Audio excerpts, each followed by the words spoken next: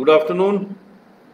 Uh, today I'm going to discuss uh, understanding the various uh, reform measures that have been undertaken by SEBI and Reserve Bank of India during this COVID 19 pandemic period. These, uh, as you all know, are difficult times. We are passing through difficult times. Uh, economic activity at some point of time came to a complete standstill. Movement of labor, goods, and services completely shut down. Still today, there are parts of the country where movement is restricted. In this background, I'm going to discuss a very specific topic that uh, what has SEBI and Reserve Bank of India done in these difficult times. Now, to begin with, we, we should know what SEBI does. SEBI is basically there to protect the interests of the investors. Therefore, investor protection. They operate in the capital market. Reserve Bank of India, on the other hand, does a much more wider ambit of operations. It's a much bigger organization, as we know. is the Central Bank of India. And uh, the various areas in which Reserve Bank of India operates are formulation of monetary policy, price stability, ensuring liquidity in the economy, influencing the term structure of interest rates. It plays a significant role in government borrowing, exchange rate stability. It continuously monitors the financial health of commercial banks, NBFCs, other financial institutions like SIDBI, Exim Bank, etc. It also has a say in the extent of state borrowings from a corpus that is there with RBI. Now, given the area of operations of both uh, SEBI and RBI, RBI's ambit, as I said, is much more. Let me first focus on SEBI and then I will get to what RBI has done. Now, as you all know, since from March, end of March onwards, there was a lockdown in the country, many companies could not finalize their accounts, final accounts month of May, June has is almost going by, so quarterly results are also not ready. So, in view of this, SEBI has given a relaxation that uh, companies can, after some time period, submit these accounts to the stock exchanges, etc. So, some breather of around three months. It, it, it's, not, it is continuously evolving we don't know when it is going to uh, end. So for the time being, a breather has been given to companies for filing their quarterly results, half-yearly results, annual accounts, and things like that. So this is from the accounting point of view because I don't think audit also is, has been completed for many companies. Uh, similarly, for mutual funds, this kind of uh, reporting has been some time has been given. But most importantly, the, in, during these times, the markets become very volatile. Now, volatility is, is, is a serious issue because this is the time when speculators enter the market and they can really beat down the prices of stocks and uh, other financial instruments. So what you know what happens is that in a in a downward market, the options market, the, the particular, the, the, the long put side becomes very active.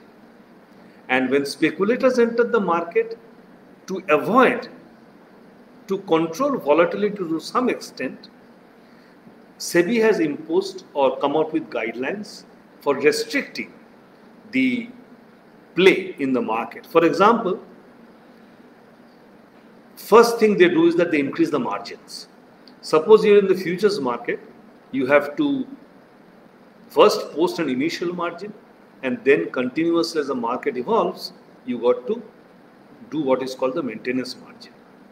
Now, by increasing margins, immediately it restricts activity of the players because they have to put upfront the initial margins. Besides that, there was a revision in what they call market-wide limits as to what would be the filters, what would be the ceilings of play in this particular area, etc. In particular, what they have stated is that suppose you are taking a short position in equity index derivatives. So they have said that mutual funds or private investing investors, etc., can play in short market to the extent of their actual holding of these securities. Now, a short position means what? You are selling something which you are going to buy later and make good. Now, they have limited the play in the short market by to the extent of holdings that these institutions have. In the long market, they have said long means you're going to buy, it's an obligation to buy. Suppose you do a long call, it's an obligation to buy. There, suppose you are doing a long put, also eh, they are doing a short put, that's also an obligation to buy. Now, there they have restricted saying that their play will be restricted to the extent of their holding of liquid instruments, money market instruments, CPs, treasury bills, etc. So that there is no problem when the, if, if one waits for delivery, there is no problem of picking up these instruments from the market. So idea is basically to restrict play, speculative play in particular, in these kind of markets.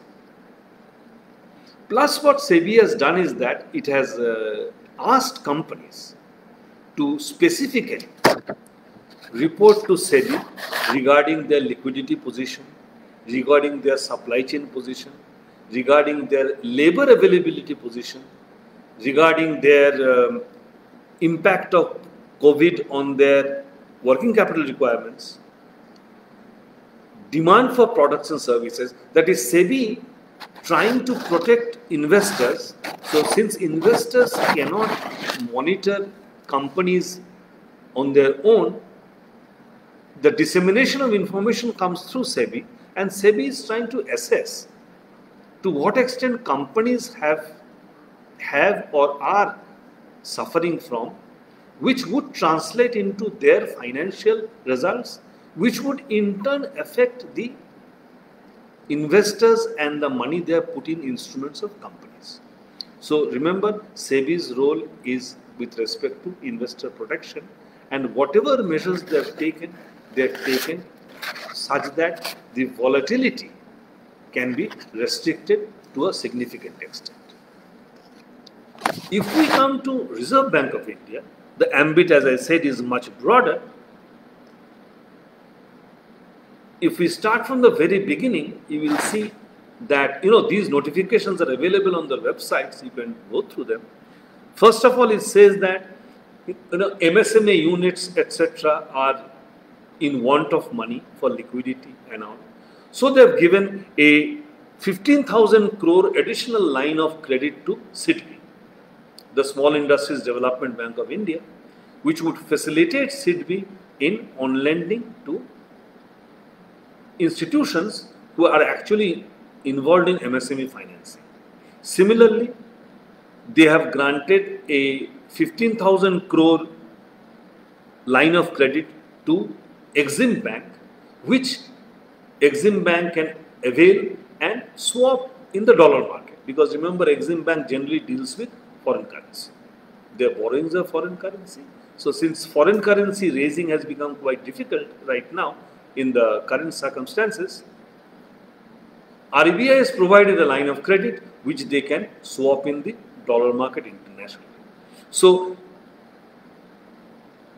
making funds available to various players in the small sector, in the export import sector, RBI has granted these two lines of credits.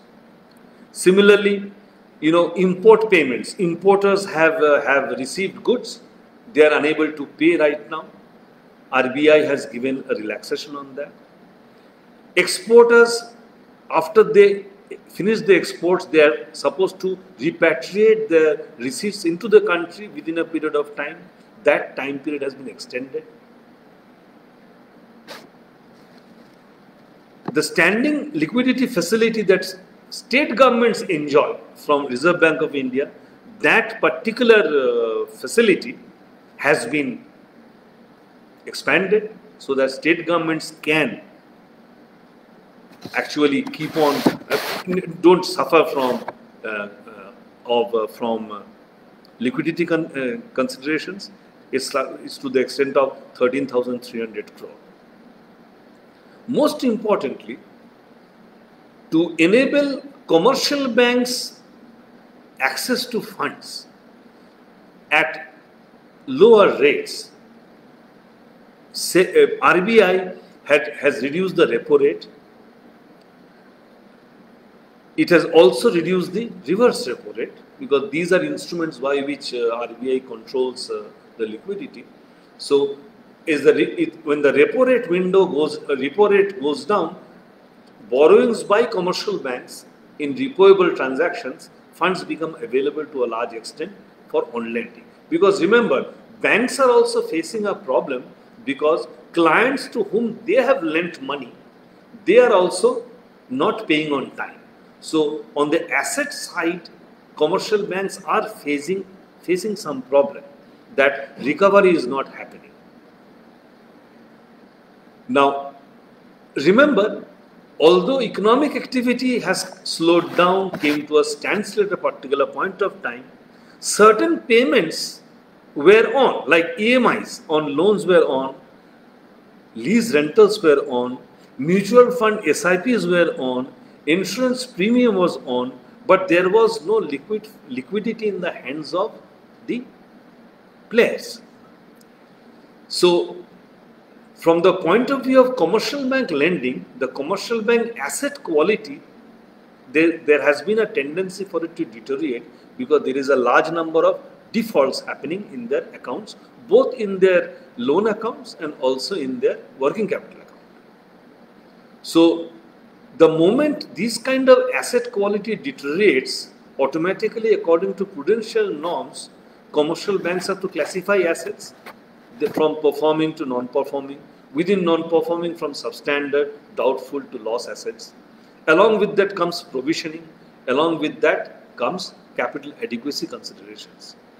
Now, in order to give some breather to commercial banks for classification norms, RBI has postponed the repayment of principal by clients by you know it's kind of changing it's been around three months now that they have postponed it by one quarter that if companies do not are unable to repay to banks for the next 90 days then banks need not downgrade these assets from performing to non-performing so that's that's one breather. It's a breather for the borrower. It's also a breather for the banks. So it will not immediately have an impact on provisioning by commercial. However, interest will continue to accrue, and what RBI has said is that this interest either will be payable later on as interest or this interest will be converted into a funded interest term loan which we call FITL. So the Basel guidelines that commercial banks have to comply with,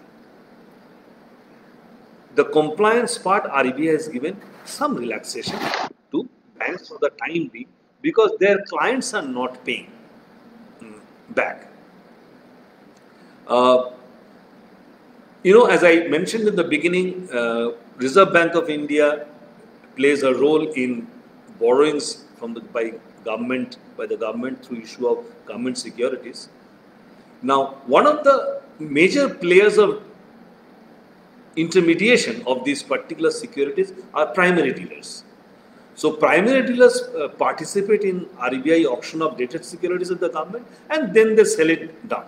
But during this time, because of uh, liquidity considerations from all parties, PDs are also facing liquidity considerations, liquidity constraints. So RBI has given them a, sta a standing liquidity facility also. In order to protect the health of uh, commercial banks, RBI has uh, also told them that you need not declare dividends this year. Instead, you conserve your profits after taxes and all that for your cap to boost your capital position. So briefly, briefly speaking, overall, SEBI has taken measures to reduce volatility such that investors' interests are protected. RBI has taken policy measures to ensure liquidity, reduced interest rates to reduce cost of borrowing of funds, taken part in infusing liquidity, taken a role from uh, to, to, to take care of the health of commercial banks. One bright side has been that because of reduced economic activity and price of crude oil almost falling to zero worldwide, India had a surplus in the current account for a short time. So exchange rate instability was not a major issue in this particular period. So thank you very much. Hope to see you again soon.